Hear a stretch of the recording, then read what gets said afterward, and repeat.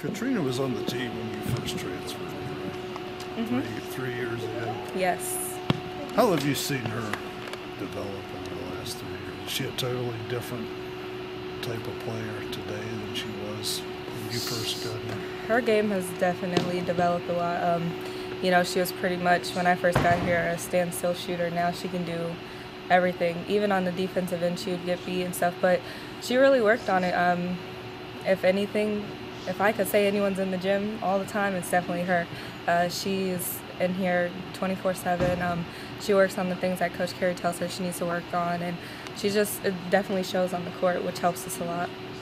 Obviously, the other Big 12 coaches aren't idiots. They're they're going to be seeing tape of this and what she's doing. Um, what kind of adjustments is she going to have to make? Are you confident she'll make those adjustments? Because obviously, they're, not just going to let her stand out there. Yeah, She- um, it will definitely be new to her because she she she'll be guarded a lot heavier than she was, you know, last season and even the season before. Um, she's just gonna have to kind of keep calm and not get frustrated. I know that's the hardest thing, you know, if you have someone face guarding you the whole time. Um, so if she keeps her composure, uh, you know, she'll be able to, you know, play or go against anybody that guards her. So her hardest or biggest adjust, adjustment that she'll have to make is, you know, just staying calm and focusing.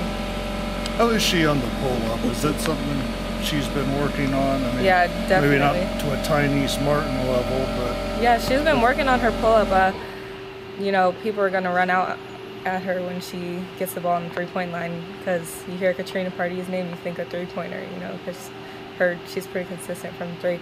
Um, so that that was one of the things she's always doing in the gym is working on her pull up, and you definitely see it in the games, and she definitely puts it to use. with her and Naomi out there, could do you think that could open up some things for you possibly for for more shots out Yeah, on the perimeter? definitely. And it has already. Um, you know, they're two big scorers. They are averaging over double digits. Um, and they, you know, just them being aggressive on the offensive end opens up a lot of opportunities, not only for me, but everybody on the court, um, because there's such threats on, on the court and in the game. How does having Teresa now change things, especially defensively, which is where coach wants her concentration uh, right now? having a six five girl on the court, you know, that's a problem within itself. You know, the defense it's not going to be as easy. I mean, the offense is not going to be as easy for the offense to drive in and you know make a layup because they will see her. So just having that presence there. Um, obviously, she's new to the Big 12, new to the team, new to the competition. Uh, so she has some work to do, but she's doing well. Um, she had a good last game, and you know, she'll she'll definitely help us on the defensive end a lot, and also on the offensive end. You have the confidence to take chances like you did when you knew, knew Lanay was back there the last couple of years. Yeah, I'd say so. Same type of thing. Yeah. Defensively, where is this team right now? I know it's something coach always harps on.